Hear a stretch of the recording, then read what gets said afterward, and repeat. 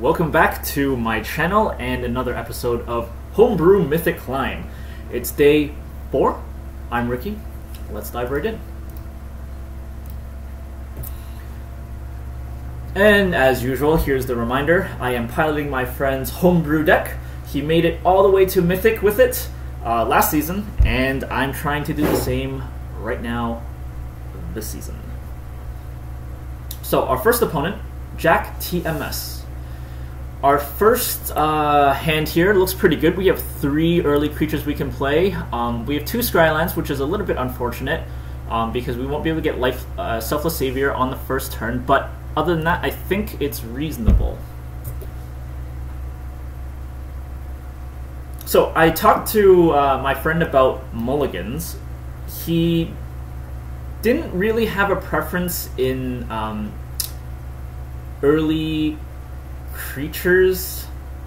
Hmm, Lurrus, Lurrus, Lurrus, Lurrus. I think I can afford to have a Lurrus up here. Um, uh, he didn't really have a, a, particular concern of having too little or too many early creatures in the hand. Um, what he was concerned about was um, having Snapdax in the opening hand. He said that he almost always mulligan Snapdax in the opening hand because it's just uh, based on his experience, it was not a card that he wanted at all to begin with. So, interesting, interesting advice. We'll see how it works out. Our opponent starts off with the ever annoying uh, glass casket, so that is a little bit unfortunate. We see a swamp. We like the swamp. We'll play the Luminarch Aspirant here.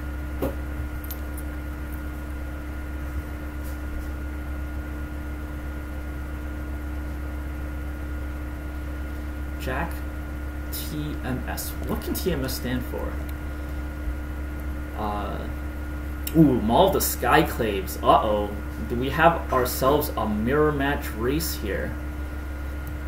So, what I can do here is um, get the Luminarch Aspirant out. Um, we will leave it be in case we need to Heartless Act uh, his flying knight. We will spread the love around, and then I will attack for three. I will end my turn. Let's see what he does. He attacks for four. Uh, let's try and kill it. Let's see what he has.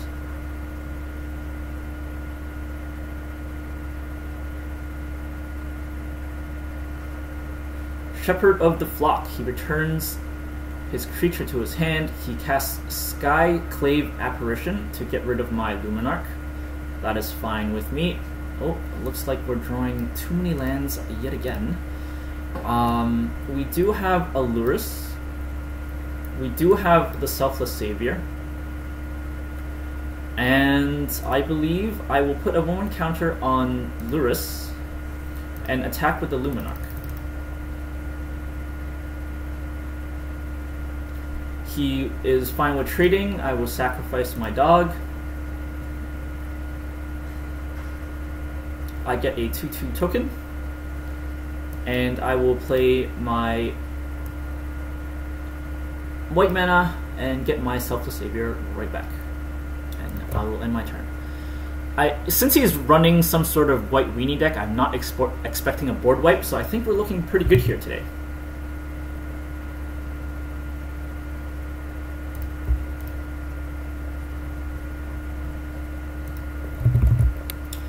Venerable Venerable Knight. Okay, yep. Looking pretty good. Um, my turn. Unfortunately, it is just a plains. Um, 48.6, I think, is pretty reasonable. Here we will um, make our Luminarch Aspirant larger. And then here we can attack with all of our creatures. Let's see what happens.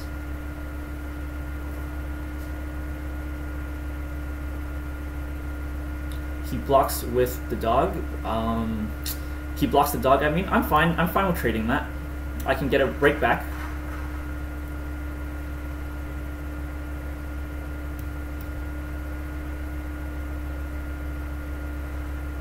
He does have a kill spell. And I will end my turn.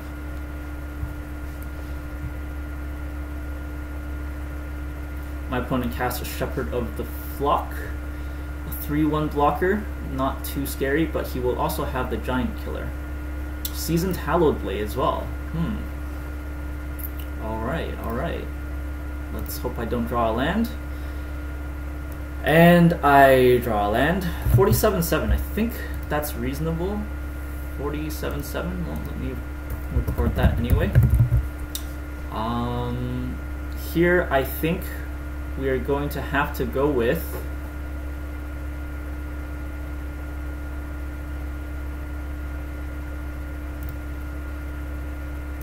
Luminarch Aspirant goes on top and we will attack with our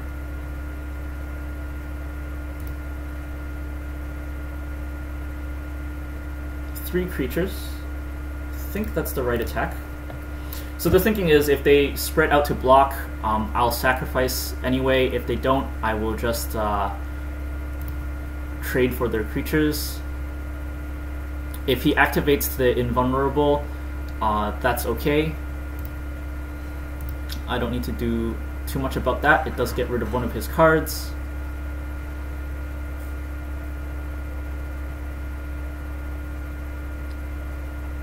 Luminarch Aspirant hits the board. He's looking to equip his Skyclaves for sure.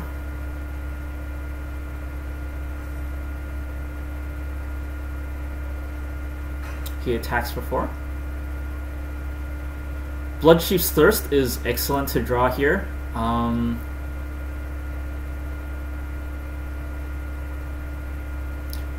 I think I'll definitely need to kill his uh, Aspirant I can't let him outgrow my creature. Gain a five, uh, make it a 5-5, and I'll attack for 5. My opponent is forced to block with his 1-2, or else he dies. So here we are. He does have a Maul of the Skyclaves, he does have a Seasoned Hallowed Blade, so he attacks for 4. And he's probably looking for um, to create a token. Unfortunately, I draw yet another land, 45, 8. 45, 8 I think is actually pretty reasonable. Uh, I will have to attack, I believe, or else next turn he'll just equip the Maul the Skyclaves anyway. Ooh, this is risky. Um, I think I'm forced to attack here. I have to I have to make sure he doesn't get enough uh, blockers next turn because he'll just go wide, attach the Skyclaves, and I will lose if I let him build up blockers. My opponent casts Giant Killer. Unfortunately, he draws the perfect card, and now I am looking pretty bad. Another Bloodchief's Thirst isn't really going to do it, so unfortunately I think this is the end of the road for me. He's just going to discard his card to give it indestructible. Yep. And then that's it. We lose the first round. Mulligan. Did not mulligan. We lost this. Not a free game. Gold 2. Zero pips.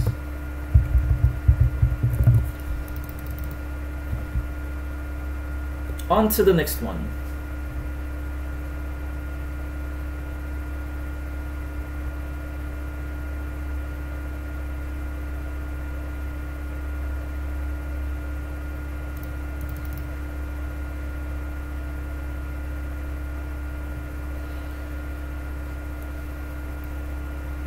So, for those of you who are interested in following uh, the deck performance, uh, my untapped.gg is linked below. I also have a Google Sheets spreadsheet linked below. It uh, I track extra stats on it. Um, for example, how many times I mulligan, how many times I get mana screwed, etc., etc. Let's see. Hushbringer Lurrus. We see Snapdax and Baneslayer Angel in the opening hand, which is something my friend has warned us again, but let's see how it plays out. I am going first, and I like going first with the full hand of cards. Temple of Silence into Temple of Silence. I think that's okay. I'll keep it. I am looking to get to five lands pretty quick.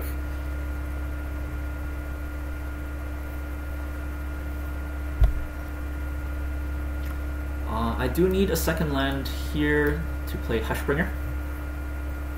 Hopefully it doesn't get stomped by a Bonecrusher Giant. Very likely if he drops a red mana. He does not, he plays Edgewall Innkeeper instead which is a high value card for that particular deck. So I do need 3 mana right now, so I will drop my Plains, I will play my Lurrus, and I will attack with Hushbringer.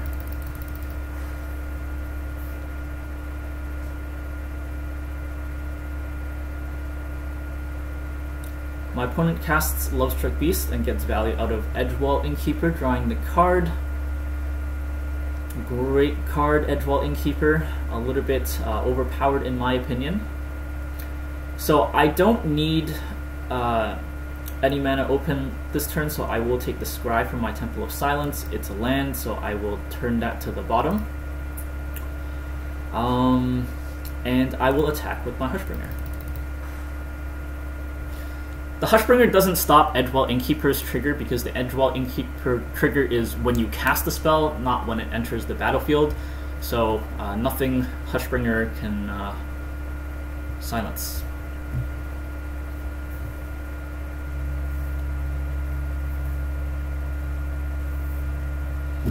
If you're wondering what the uh, deck list is, the deck list that I'm playing, please check out the card. It should be uh, up in the corner. I made a video showcasing it.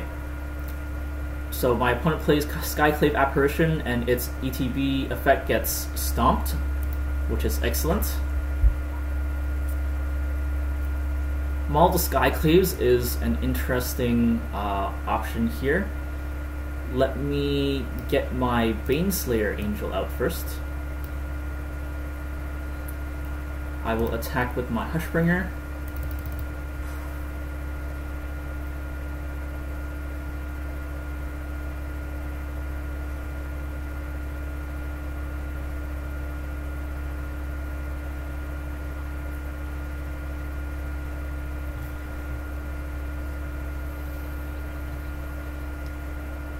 so far, so good. My opponent can still have a lot of uh, ridiculous cards in the green-white colors. I'm hoping to avoid um, Glass Casket on my Lurrus. I, am hoping he doesn't draw Primal Might to smash my Baneslayer Angel out of the sky. He does get he does bottom his Scry, so that is a little bit of good news for me.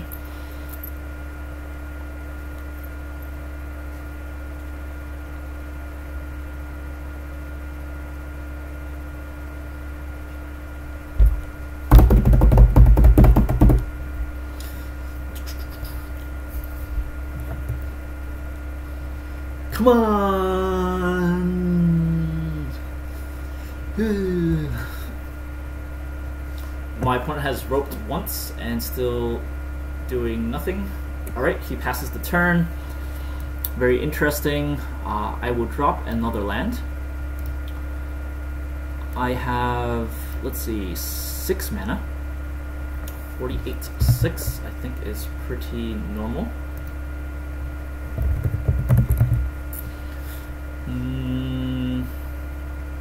if he has a kill spell, I am a little bit worried about it, so I will attempt to cast Maul of the Skyclaves onto my Lurrus, and then attack for everything, really, and see what happens. My opponent has no response. Um, I'm tempted to cast my second Hushbringer. I'm not anticipating a board wipe because my opponent is playing a creature heavy deck, so Shatter the Sky would be pretty silly for him to play. So let's see how he responds to my Air Force.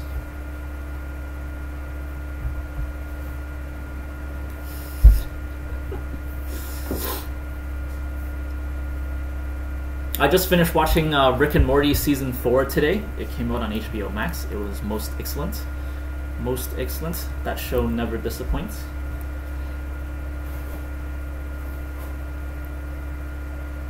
And my opponent concedes. Hooray! One win. We didn't mulligan. We. Oh, I'll do that later. We did win. Wasn't a free game. And this was gold 2 at 2 pips. On to game 3. Whoa, that was a quick ready. I like it, I like it. Ganford. Ganford. The way they capitalize the N here, I almost read that as Nanford. You know how like Nan when you enter a weird value for uh, some fields. Um, Alright, two early creatures, four lands, not ideal, but we do have a support spell and we're going first, so I guess we will have to keep that. Play a plains, call it a day, and we'll... It's a Lurrus, so I believe the creature I care more about is probably um, Null Priest for the offense, and of course I draw another land. Uh, so I will lead with the Null Priest. I would rather uh, have Hushbringer survive to stomp out um, any Dimir Rogue action. So let's see how this plays out. And again, because we're going first, Menace will almost uh, get us some free damage. Almost certainly, unless he plays a Ruined Crab followed up by a Swamp, plus the Rogue is a possibility.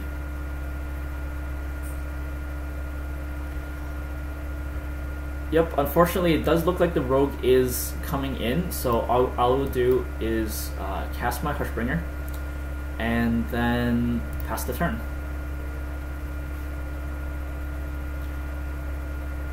My opponent casts a second Ruined Crab. I, again, this is you've seen it on my channel. This is like the third time my opponent playing Dimir Rogues has just opened up with double Ruined Crab out of nowhere play another land, play my Selfless Savior. Let's see if it gets countered.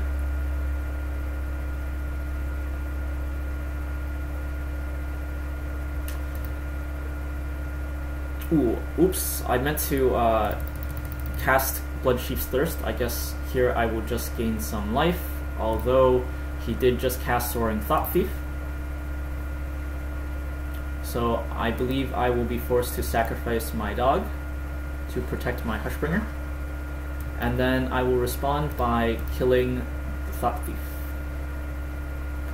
The problem with killing the Thought Thief is that it does leave the Ruined Crabs in play, so when he plays a Fabled Passage, I will almost certainly be on the highway to Millland. Uh, I draw another Selfless Savior. I was hoping for a little bit more power.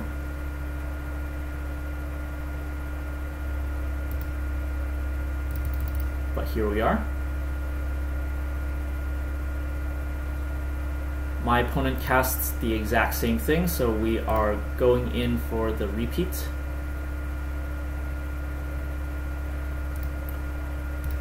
I will once again protect my Hushbringer.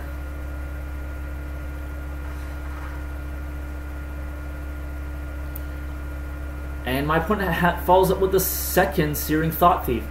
How? Why? How? How? My opponent in 13 cards gets two copies of Ruined Crab and three copies of Searing Thought Thief. like,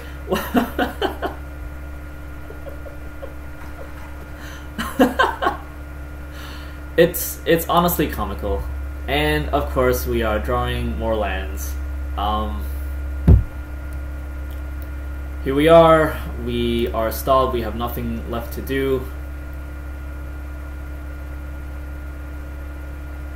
We are going to get both milled and killed at the exact same time. Even if we draw a Snapdax at the moment, I don't think that's enough to save us. We won't uh, be able to deal 16 damage faster than he can uh, play uh, Fabled Passages.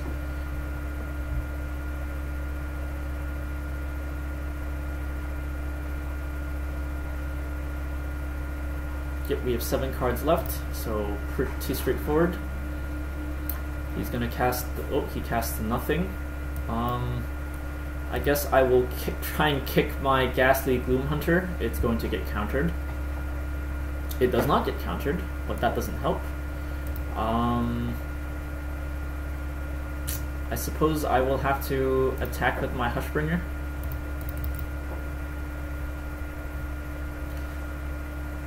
And it dies to Heartless Act.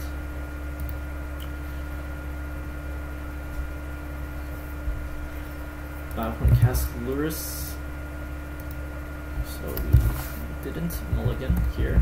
We have lost this, not free, gold 2, back in one pip.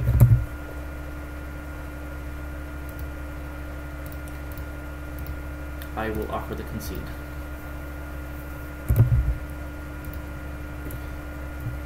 Two ruin, three soaring thought leaps. Ridiculous. Ridiculous! But such as it is, sometimes we draw ridiculous hands as well. But as you, if you are following my series, I have run into a horrific stream of bad luck. We are now on game four. If you're interested in skipping ahead or uh, skipping backwards, I will leave timestamps for the beginning of each game in the description. And uh, while you're down there, like and or subscribe. Um, and hey, if you have any comments or questions about what, uh, what, what my plays are, give me a timestamp, drop me the question, and I'll see if I can uh, give you a good answer. So the rune Crab is here. He has the Lurrus in his hand. So um, do I want to save three cards? Probably not. So let's see what happens. Ooh, if that was my plan, if I wasn't going to cast Bloodchief's Thirst, I really should have started with the Fabled Passage first. Uh, so, two lands, I'll cast Null Priest. We need to go aggressive as soon as possible.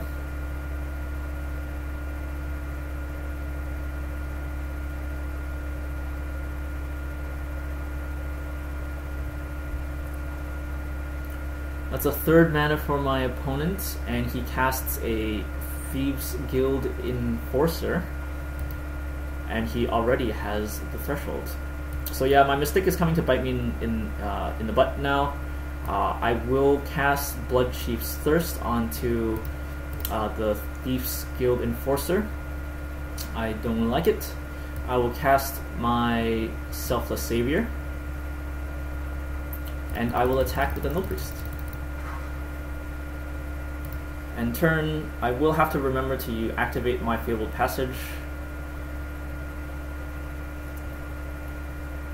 So this was another hand that uh, uh, we should have considered mulliganing. We have Snapdax in our hand. Uh, so we'll see if that was a mistake.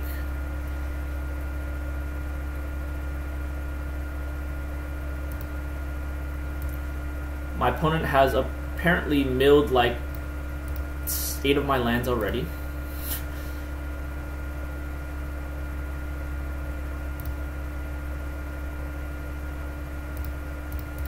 Activate my Fabled Passage, so I don't forget. I will be looking for white mana, because I need double white to cast Snapdax.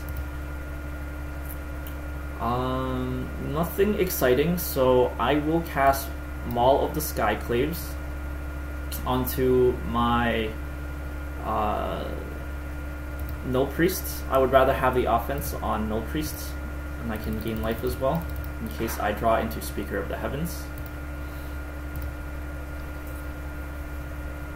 I could have attached it to my Selfless uh, Savior and offered him the block, uh, and if I swung in with both, I would have scored one extra damage, but doing it this way, I can save, I can try and save my Null Priests by sacrificing the selfless savior, which is what happened just now. I now have four lands, which sets us up nicely to cast both Null Priest and Hushbringer. Um, I believe I should cast Hushbringer first. In case uh, they try to block with uh, something nasty. But of course he has two kill spells because that's just how these decks go.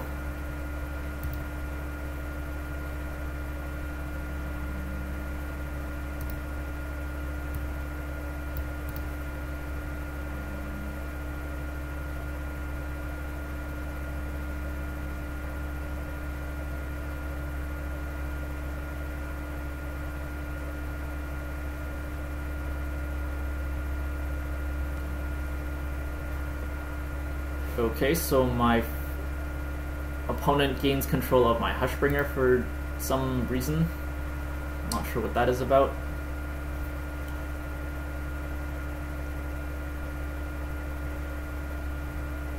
Uh, I am short mana. I will equip Maul the Skyclaves onto my Null Priest and swing for four.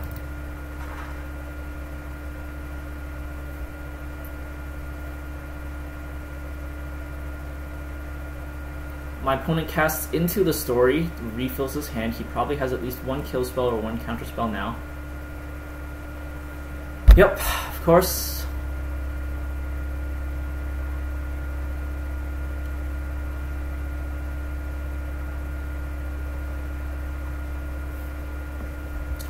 I finally draw the land that I'm looking for. I will cast my Baneslayer Angel. It will almost uh, instantly get killed as well. If it instantly gets killed, I will be in a bit of trouble.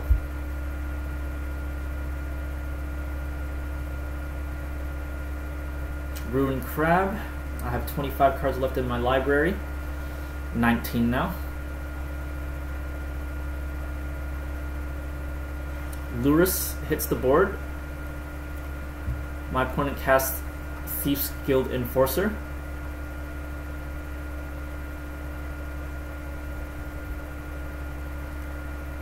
and my opponent empties his hand by playing Cling to Dust. So he gets to draw a card. Hopefully it's not a kill spell. If it is, it's okay because he doesn't have black mana. So I draw another Plains. I can uh, cast Snapdax.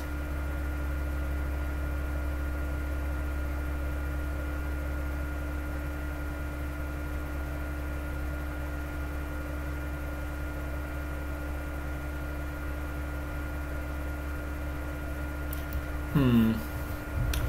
This is tricky because if that's a if, if that is a counter spell, I am extremely extremely vulnerable here. So I believe I need to cast Snapdax and try and kill one of his uh, flyer creatures here.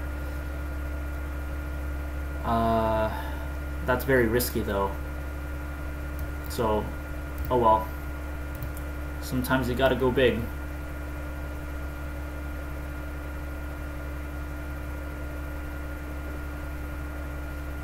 The safer play will be to kill um, the Lurrus. So actually maybe I'll do that. And then I will attack. He will be forced to block.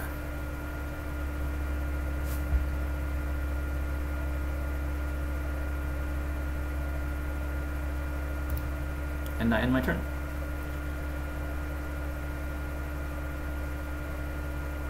So actually, yeah, I don't know what I was thinking. I really should have just killed his Hushbringer and his Merfolk Windrobber and went for the win. I think I was... I'm far enough behind that that was a risk. So um, I think that was a misplay on my part. Yikes.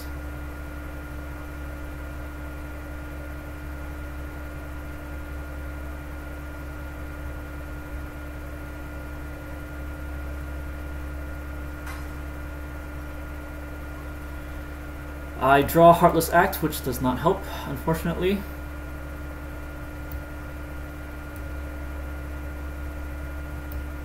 Um, I suppose I will have to kill his uh, crabs.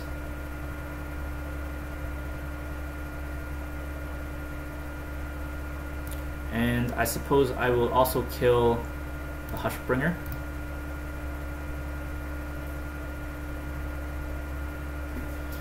Yep, my opponent is calling good game. Again, I don't like it when they prematurely call good game. He has a second Ruin Crab, a third Ruin Crab, a Thieves Guild, that's two that's four more lands and he just needs to play a land and I will lose. So that is the good game.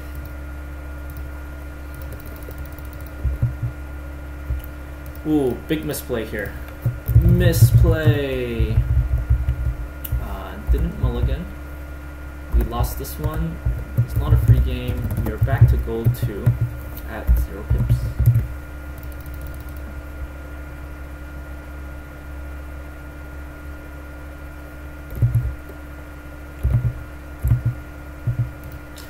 That was winnable. I did make a mistake. Uh, I think I was playing. I was definitely playing too conservative. Um, he only had two blue mana left, so the chances of him having a kill spell was extremely low. Um, the only thing he could have countered with was um, uh, the Jwari, the Jwari counter spell that you know forces your opponent to counter target spell unless you play one, and it also flips into an island. Opponent goes first. We have some early plays. Sure.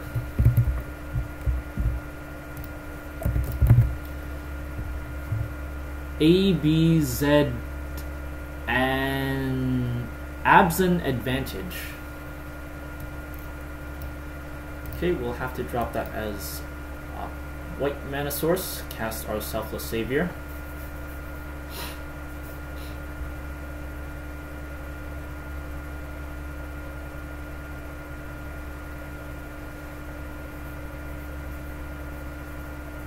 Selfless Savior gets cast and another selfless savior. Um, I'd essentially be trading selfless savior for selfless savior. Uh, I think I'm okay with that.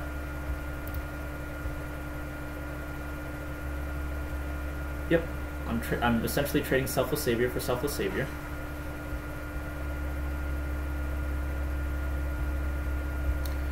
I draw a plains. I will cast. Uh,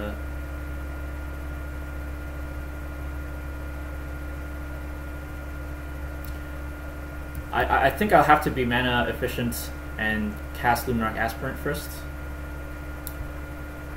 Actually, now that I think about it, I think uh, trading my Selfless Savior was also a mistake. If I kept it alive, my Luminarch Aspirant will probably look a lot better, uh, and then I could also start putting Maul the Skyclaves onto Luminarch Aspirant. Uh, although, if I had Selfless Savior, it wouldn't save me from the Skyclave Apparition, so uh, I guess maybe it is what it is.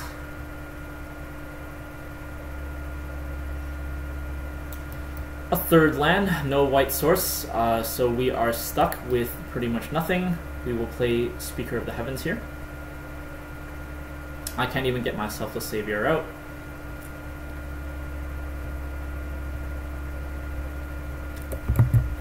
At 53 still pretty reasonable.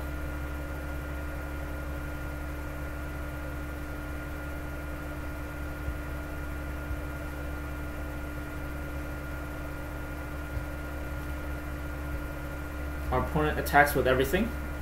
I am fine with taking that. Not much I can do.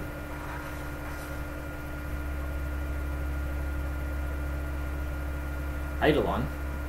Very curious. Venerable Knight. Oh, he's running a white weenie deck. Very, very curious. If I wasn't mana screwed, I would be in pretty, pretty decent form. But here we are, getting mana screwed again. Uh, but we can do some fun plays where I just double equip Speaker of the Heavens and uh, see what happens.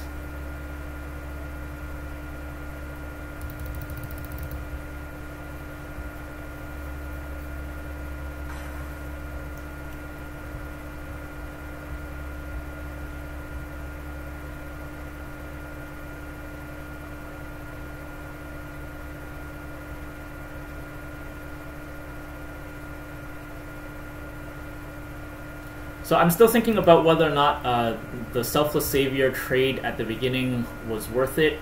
Um, I, I think honestly I would feel a little bit safer if I had uh, had it in place still.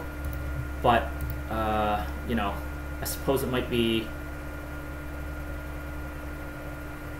an example of it is what it is here.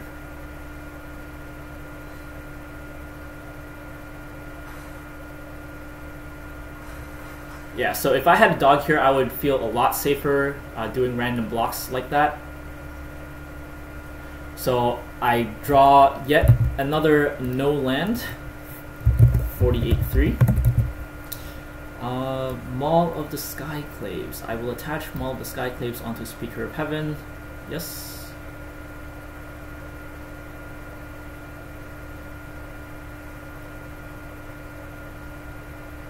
I will attack for 5 and heal for 5. As long as my opponent doesn't draw a removal spell, I think I should be okay. If he draws another Skyclave Apparition, I will be extremely, extremely sad. Because all I, I will have left is a Selfless Savior and some Mauls that I can't attach it to. He puts a 1-1 counter on all of his creatures, but I don't think that's relevant. He can't attack through my Speaker of the Heaven. He tries to anyway, uh, not sure what the deal is um, with that, so I will block his Skyclave Apparition, obviously. He will be forced to sacrifice his Alseid to protect it. So that way I prevent technically 5 damage being done to me. I won't gain any life because uh, protection from white pre uh, prevents damage. So now I'm at 47-3. Uh, I will play a Selfless Savior for protection. And I will attack.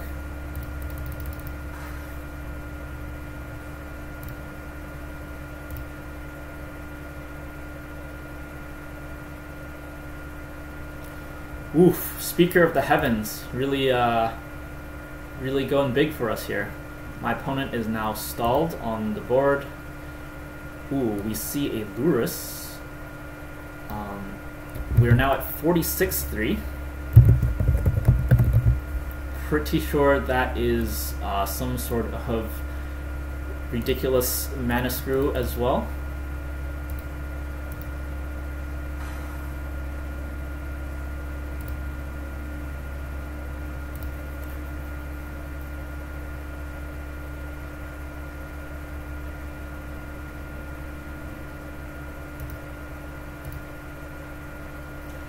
My opponent casts Skyclave Apparition, of course. Which, as we were saying, does uh, exile that creature from the board. I won't be able to bring it back with Lurrus.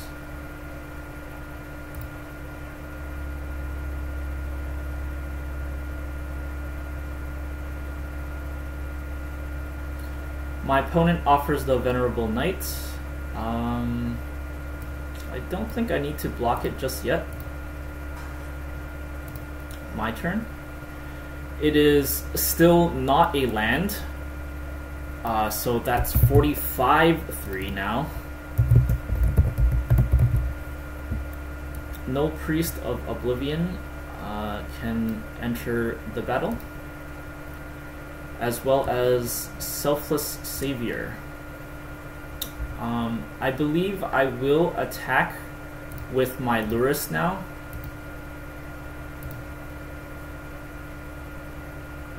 and essentially, if he blocks, I'll be trading my Selfless Savior for one of one of his creatures, and uh, my opponent concedes as Abzan advantage.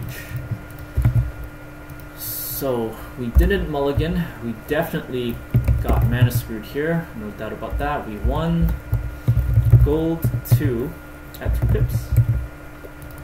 That was our second win. Let's see if we can build, pull two more.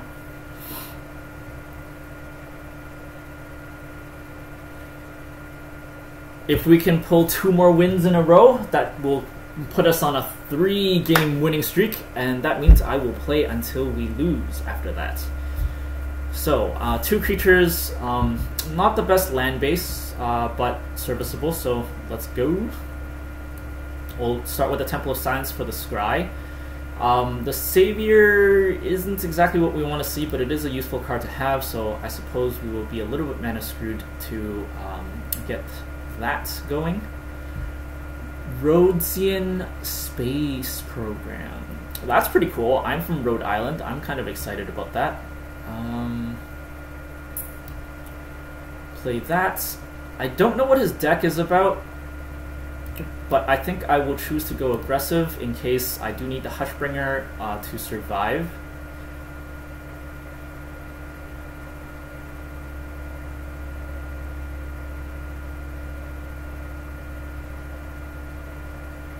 I think another option would have been to uh, play the Selfless Savior first. So my opponent casts Glass Casket, which is annoying. Uh, we do find a third land, which is excellent, and uh, unfortunately it is not a swamp though, so I will cast uh, Selfless Savior and um, call it um, he does have the lure, so that's kind of pointless to kill it for now, so let's just leave it.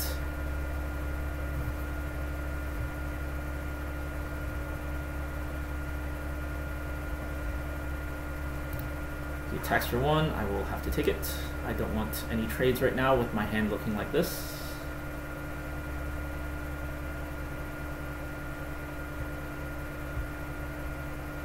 Seasoned Hallowed Blade. Pretty cool, pretty cool and Sentinel's eyes on it. All right. Uh, okay, Fabled Passage. We'll get we'll get a um, a plains.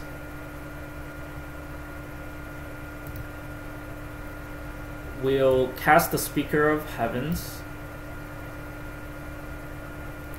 as well as the um, Hushbringer or Maul the Skyclaves.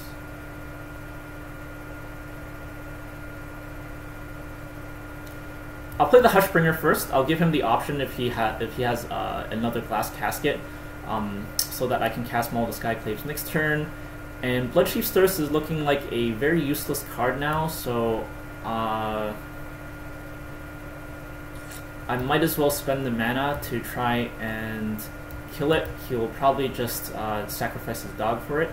I think this is a really random play. I'm not sure if I should be making it um, because honestly, it might come in handy if he does some bad trades later. So maybe I should I, I should have held on to that. Uh, but we'll see. We'll see if that comes back to bite me. Casting the Bloodchief's Thirst on his uh, Seasoned Blade. My opponent uh, gets the Lurrus. He's attacking for four and has Vigilance. Um, I guess I would could sacrifice my dog, but there's no point, so I won't block this. I'll allow it. My turn. I draw another plains. I will play the Skyclaves. Onto Speaker of the Heaven.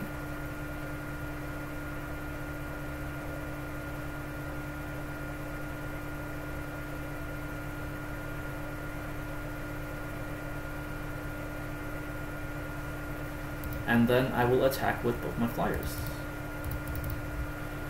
Pretty straightforward, uh, nothing, nothing exciting here. I'm hoping my opponent doesn't draw uh, any more glass caskets, and I'm hopefully drawing no more lands. I'm at 48.5, I think that's pretty normal. No reason for me to block that.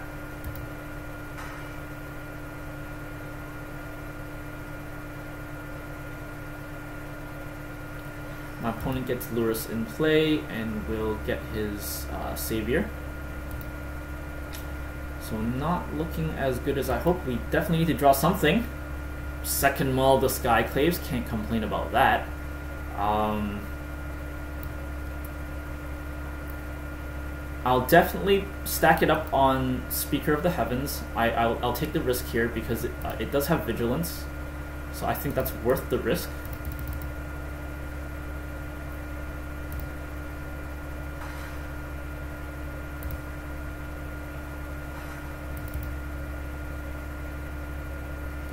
Back to a much healthier 20 life.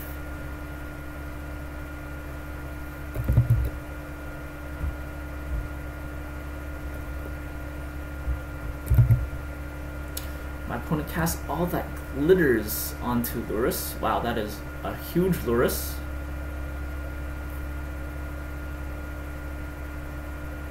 And he casts Sentinel's Eyes on the Seasoned Hallowed Blade.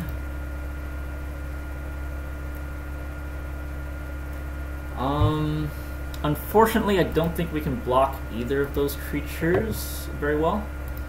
So we'll just have to let it go. I definitely need to draw some uh, some gas here.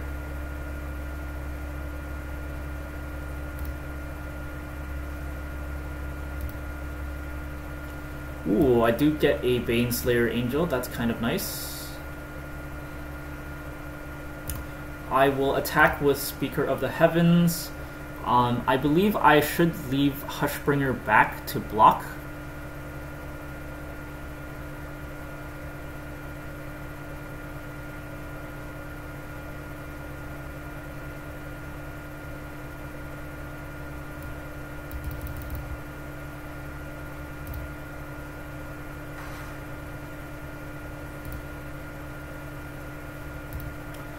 that Lurrus is becoming a problem. However, we do have 10 points of uh, first strike damage here.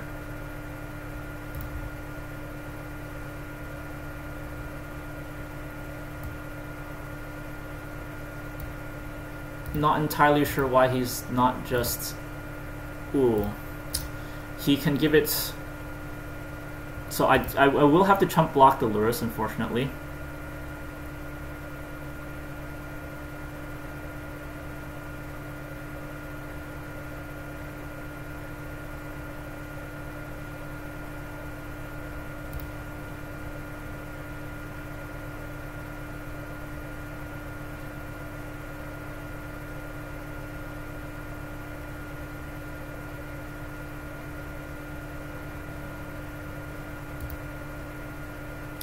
Chump block the Lurrus, I'll chump block the Seasoned Hallowed Blade, or, hmm, I guess I can still take the Hallowed Blade damage, so let's, let's go with this.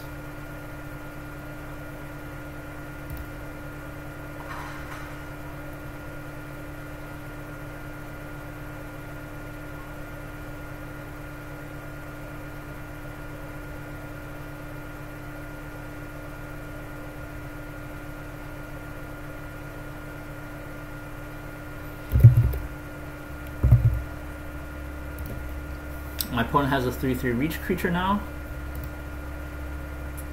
I draw no Null Priest of Oblivion. Unfortunately, I don't have enough mana to kick it.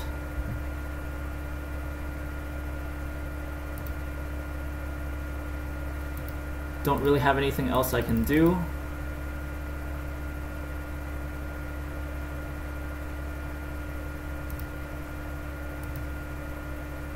So yeah, saving that Bloodchief's Thirst um, I, I don't think it made a difference if I, I killed the I, I ended up killing a dog, but you know with Lurrus in play, if I tried to kill the Lurrus, he'd just bring it back, etc., etc. So I don't think I gained anything or lost anything by doing that.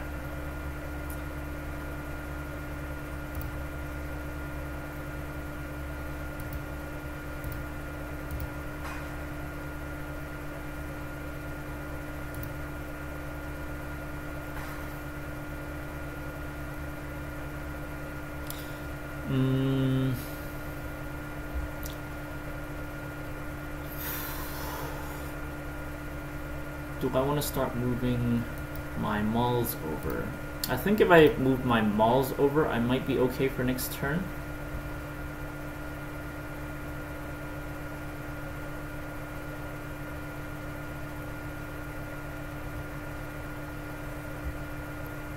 Oh shoot, I forgot I already had damage on there. Uh-oh. That, that was almost definitely a mistake as well.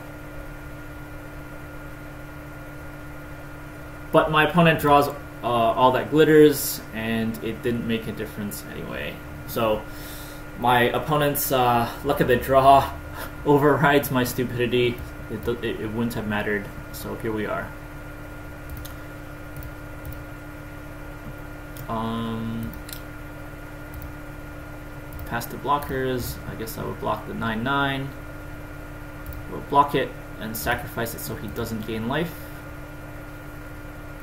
But he has more than enough damage on the board to kill me. So that is the end of that.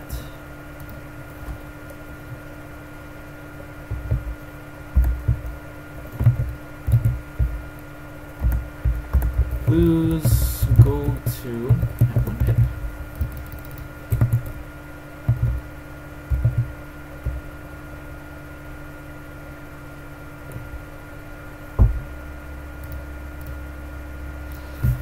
Still only on two wins. We're looking for more. Soapbox is our opponent. We go first. We only have two lands. No black mana. Alright. Have to... Oh, we do have black mana. What am I talking about? This can go in as white, and that can go in as black.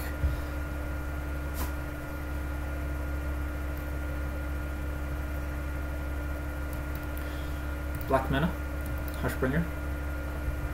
Attack for one. Hopefully, hopefully, hopefully, we draw a land.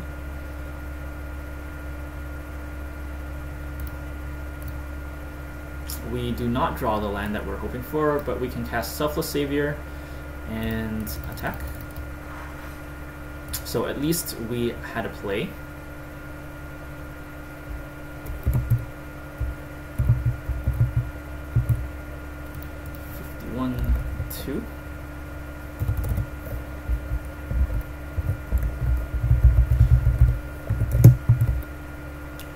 Eruption, what does that do? Whenever you land, fall, exile top card of your library, you may play that card as long as it remains exiled. Oh, okay. Uh, deals that much damage to each opponent. Okay, that's curious. That's curious. Looks like he has some sort of combo deck going. Uh, respect. Mm, do I want to go wide? I don't know what his deck is about, so I think I'm just going to play Maul the Skyclaves for some damage instead.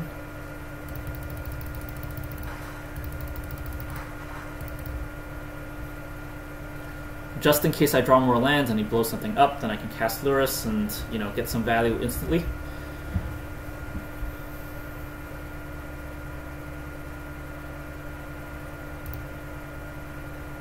He landfalls for a land, which does not help him at all.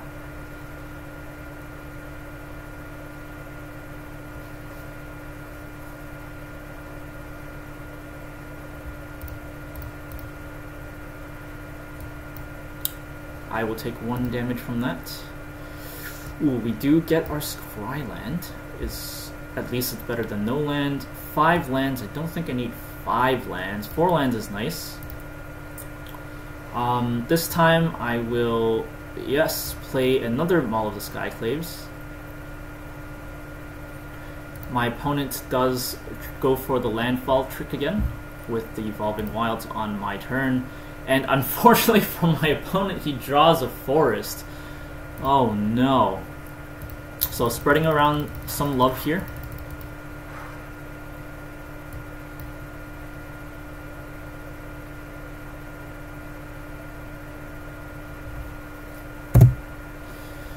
Ooh, and another forest. Wow, Soapbox got really unlucky there. Uh, did not mulligan. Uh, maybe mana screwed a little bit. Win, we won this one. Um, I think we can consider this a free game because my opponent got screwed over so so badly with his draws. Um, he literally like landfalled three times into lands uh, when his deck probably relies on not doing that. So got really lucky. Sometimes that's all you need.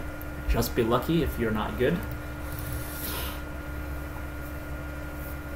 If I win this one, um, maybe I'll play one extra one just to see if we can get into a three game win streak. But uh, depends on, I guess, how we're feeling. We go first. We have three early creatures that all work well together. Unfortunately, we do have a tapped land. I'll start with a uh, speaker. Speaker into Luminarch is pretty good. Against Kroxa, yeah, I think they would probably target the Luminarch. Ooh, perfect, actually. Uh, in fact, I think this is even better. I can now put the Null Priest in first, so we have even more lifelink next turn. Uh, however, if I did put the Luminarch, uh, Luminarch Aspirant and put uh, the counters on Speaker of the Heaven, I think it will even out in terms of the life gain, but I was afraid of um, something like a Bonecrusher Giant coming in, and that's exactly what happened. So this turn we don't need 3 mana, we'll play the Temple of Silence to look at a card. We do need the 5 mana for Baneslayer Angel, so we'll keep that on top. We'll cast the Luminarch Aspirant, put a token on our Life Linker, and then swing for 3. Whoa is our opponent's. Or if you're Chinese, it's Wahao, as in Wa, me, or I, Hao, as in good. Wahao, I'm good, is what he's saying. Uh, Maul of the Skyclaves looks like a good. Uh, uh, I think I might have to spread the love here. He can't attack just yet, but um, hmm, this is tempting.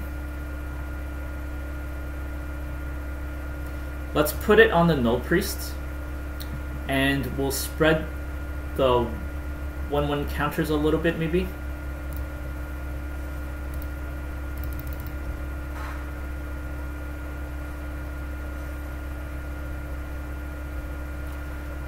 Our opponent does mill uh, a kill spell, so that is good news for us.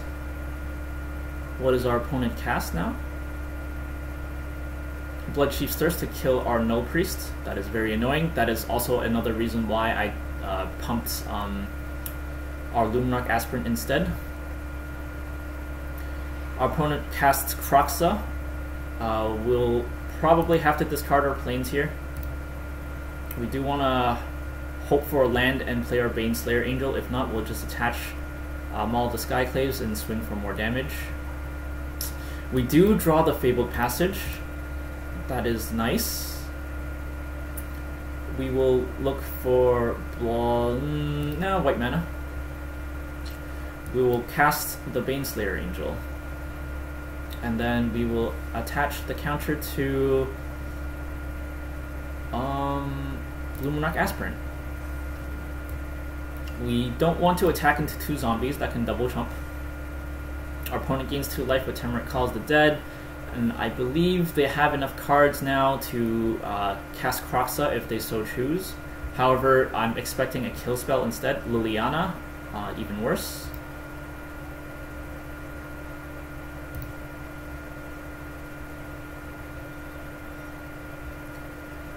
Gloom, Ghastly Gloomhunter. Um, so I definitely need to get rid of um, Liliana. Uh, so I think I'm gonna have to go ahead and do that. Unfortunately, I will lose this card to Kroxa, but hey, uh, I think desperate measures. I definitely need to get rid of Liliana immediately. That thing can absolutely not be allowed to live.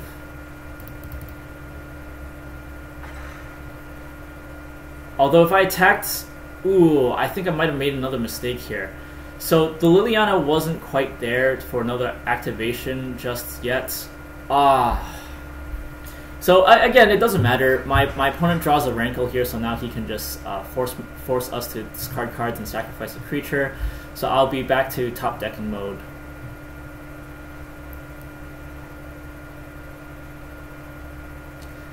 And we draw the Snapdax one turn too late, and I think that is the game for us because he will just cast Kroxa. Cast Kroxa.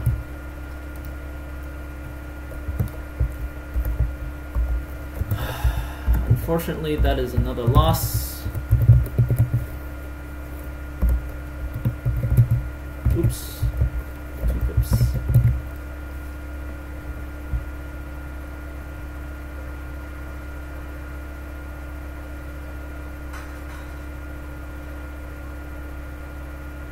Forcing me to discard cards again.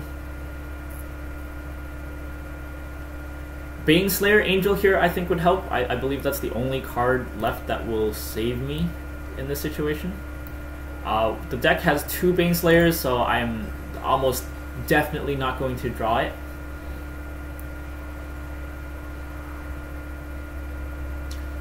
Yep, and uh, that's the game.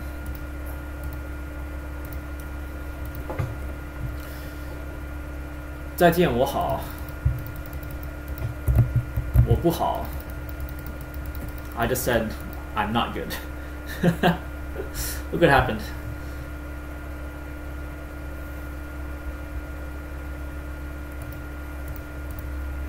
On to the next one.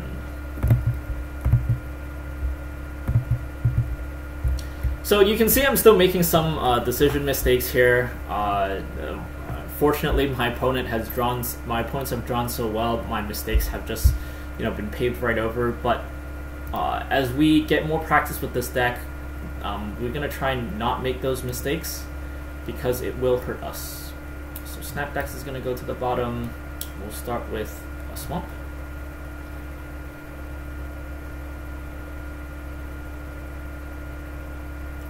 Vesuvian Doppelganger. Believe that's a pretty cool card. Alseid, uh, I think I'll have to cast a Hushbringer here.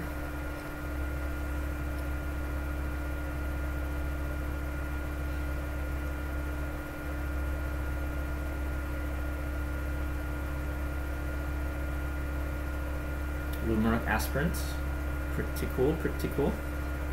Pumps the Alseid, I will not block that.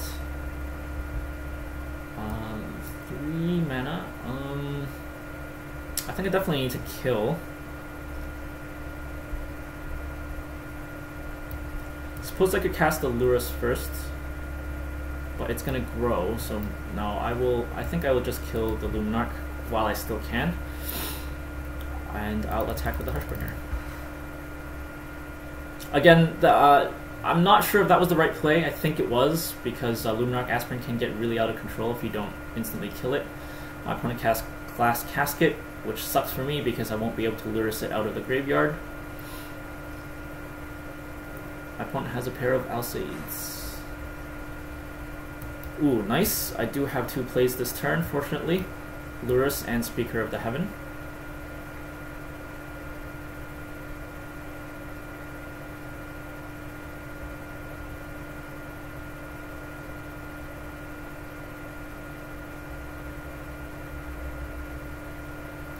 Luminarch Aspirant again.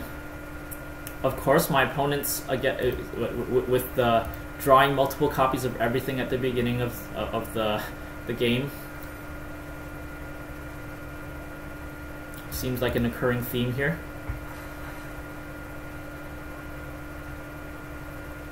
Hushbringer not going to help us. Maul the Skyclaves will help us.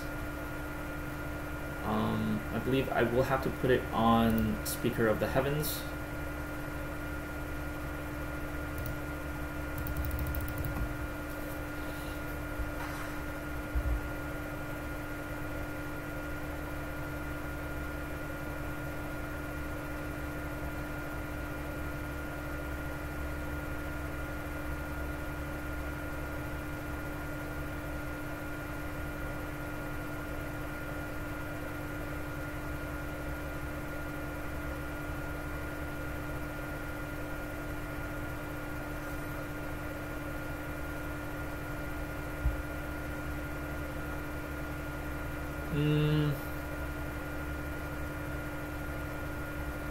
Don't suppose I can block that. If I block it, it'll just end up being a trade, but uh, I won't be able to attach anything next turn, so I, I will be on the losing end of that trade. Uh, Ghastly Gloomhunter will enter, and my second Hushbringer here.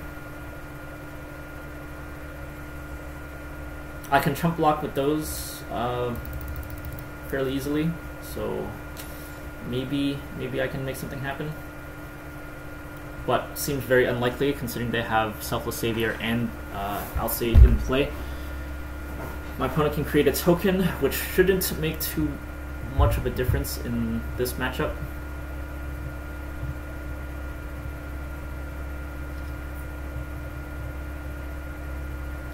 As usual, my opponent just literally draws way better than I do. Um, I, don't know what to say.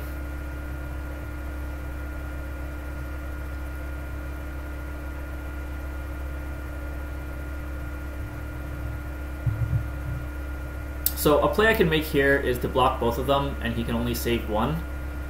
Um,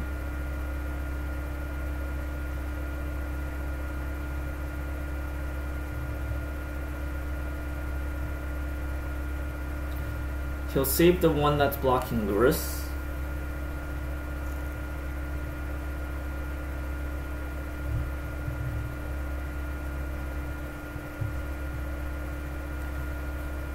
Uh, guess I do nothing here.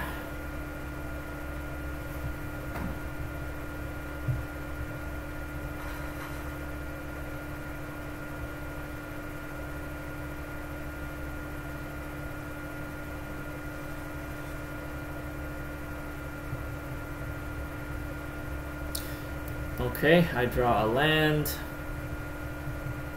That's Pleasance into a Hushbringer is not what I need.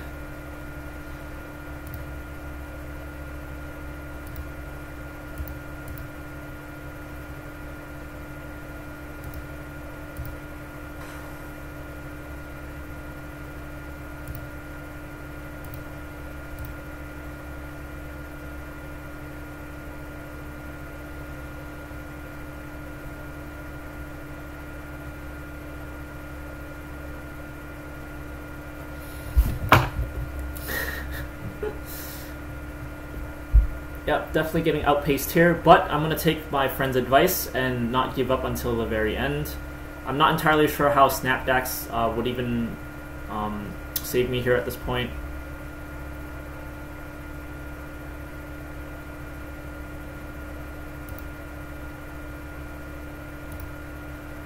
That's 8, 11, so I suppose that's probably the best I can do.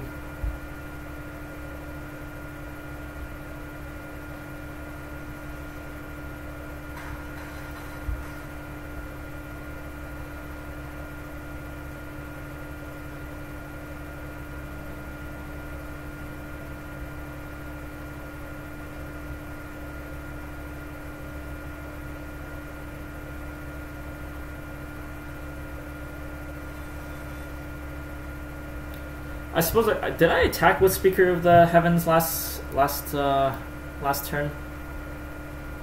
Don't think it. Uh, this makes any difference, but you know here we are.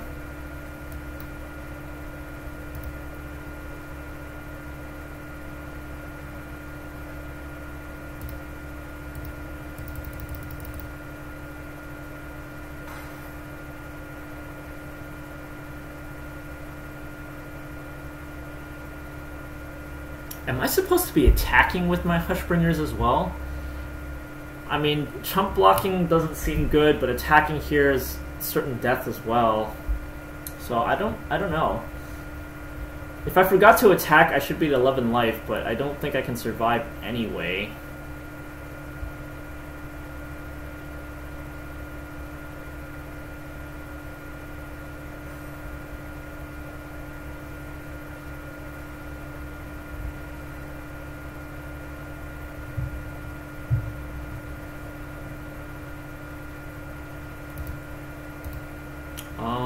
yeah, I think that's that's pretty much it.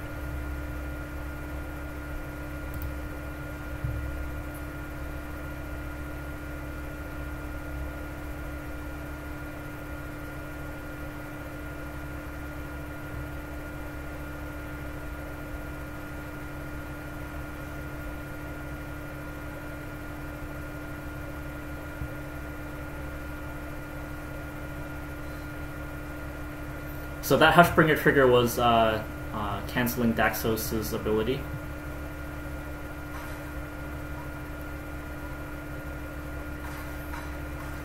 I do live to fight another day. An extra 3 life wouldn't make a difference to me here.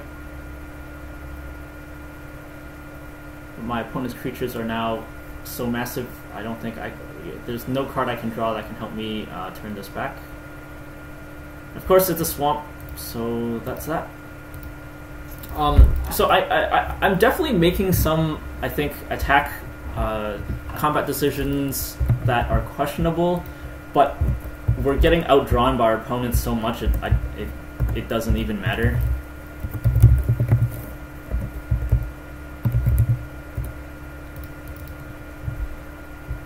Hmm.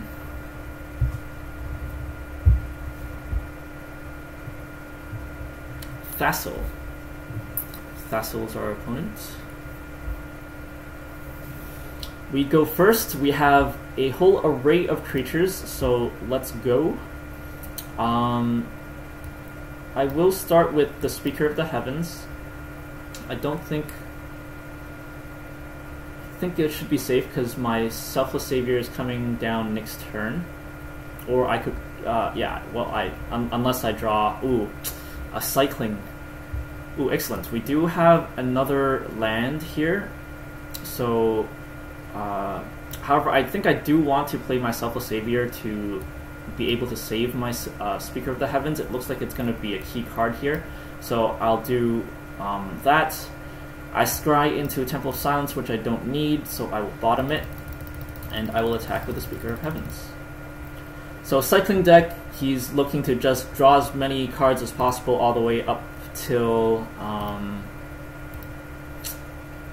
uh, ooh, okay, that's not going to be a swamp, that's not going to be a swamp either. So I don't need 3 mana. I can let this come into play tapped.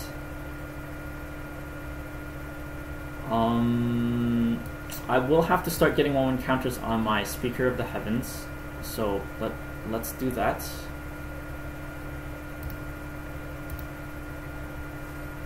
And I can't attack into it because I want to save my Selfless Savior in case he has a kill spell, which uh, cycling inevitably does. So he's looking to cycle, you know, 10 or I, I think 8 cards and then he can just uh, Zenith Flare me to, uh, in, into the face. Uh, he's asking for a trade, so I will have to sacrifice my Selfless Savior here to save my Luminarch. Very good value for him because that was a free token for uh, cycling a card. Mm, here, I suppose I could cast uh, two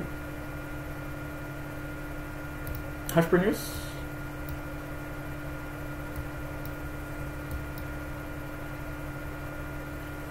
Still can't really do much besides that, though. Unfortunately, I can't possibly trade with uh, the Valiant Rescuer efficiently.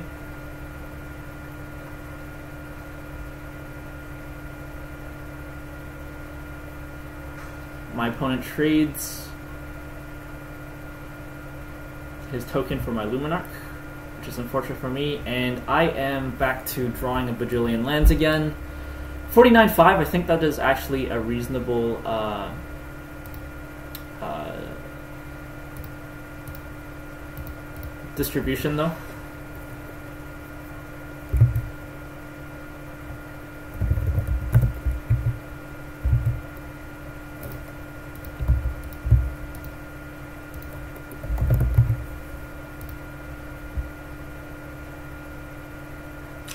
Opponent's board is getting very wide, which is concerning. If they run any Anthem cards, we could be in trouble.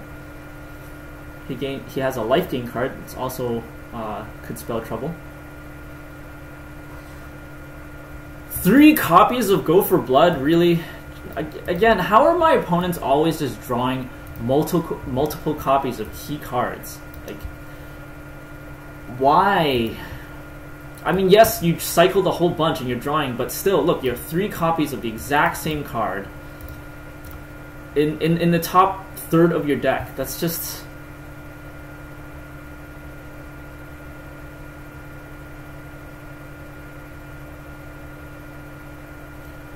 Uh, so I suppose all I can do is attack with my Hushbringer.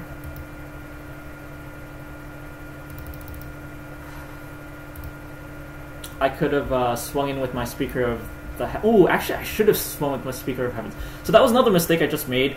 Um, if I sacrificed my dog and uh, uh, to save my Speaker of the Heavens as I attacked into him, um, I would have been able to uh, get to 27 life and activate my uh, Speaker of the Heavens.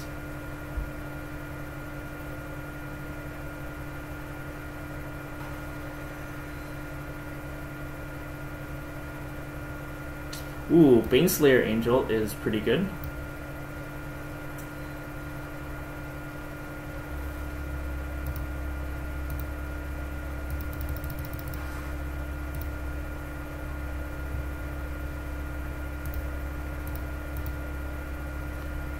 My opponent retrieves Lurrus into his hand and he cycles. Plays a land, plays Lurrus. He has access to Footfall Crater and something else. I unfortunately didn't see that. However, I do draw a snap, Snapdax, so I will cheaply play this mountain. I will mutate Snapdax onto hmm, suppose Hushbringer would be more efficient. I'll put it over. I will snipe the Lurrus. And then I will attack with my gigantic Air Force now. My opponent is offering the good game, so I will give him the good game in case he does concede. Ah, my opponent draws a land, and I think that spells disaster for him. I will block one of his tokens, and he concedes. Didn't mulligan. We won this one. Wasn't free. Gold, two, at three pips. So overall, I think that's uh, our four wins for today. Unfortunately, uh, we did not advance to gold one, but sometimes that's how it is. Uh, I think today's session, uh, because I didn't really get uh, mana flooded way beyond expected uh, statistics, I'm okay with that. We had a couple of learning moments um, where you know I, I wasn't sure if attacking or blocking was the right decision. Uh, overall, I don't think that mattered considering my opponents drew so well. Uh, it uh, their draws just overran my mistakes anyway. Um, but hey, live and learn. So uh, check out the rest of this series um, playlist that's going to be uh, showing up anytime now. And uh, I also have pack openings on my channel. If you're on YouTube, please like and or subscribe. ring it if you're feeling it. And if you're on Twitch, please follow me on Twitch. Uh, of course, I have to also say I'm just starting out. Helpful comments and suggestions will be very, very, very appreciated. Please leave them down below. And uh, have yourself a good one. See you next time.